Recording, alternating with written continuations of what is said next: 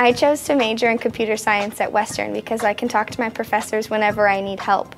Plus, computer science is a great industry to be going into right now.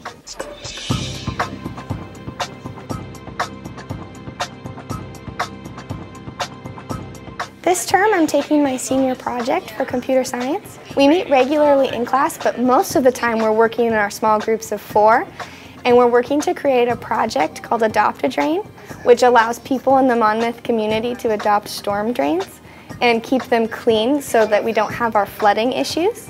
We meet once a week with our professor and he guides us in a way to make our project really spectacular.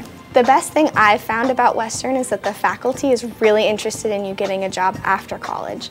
They help us with our resumes, they help us find internships, and they really make sure that we have the skills that are going to be expected in industry.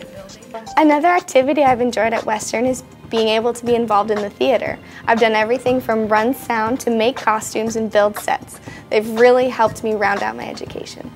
My career goals is to find a job where I can balance family life and work. Computer science is great for that because you can get a job working at home or working in industry in an actual building and I can really just balance my life however I need. I would recommend other students attend Western because the faculty really pushed me to the best of my ability and showed me everything I'm capable of.